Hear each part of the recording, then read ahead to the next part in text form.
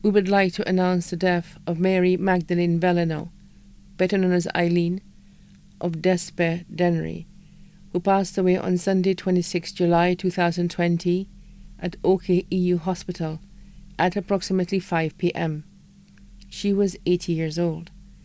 The funeral service for the late Mary Magdalene Velinor will be held on Saturday, August 29, 2020, at the St. Michael's Catholic Church in La Ressource, Dennery, at 1 p.m. Her body will be laid to rest at the La Ressource Cemetery. The body now lies at Lazarus Funeral Home with Bouteille Castries. May her soul rest in perfect peace. Please note, people attending the funeral service is asked to wear a touch of red. Please note that COVID 19 protocol must be adhered to. Please wear your mask.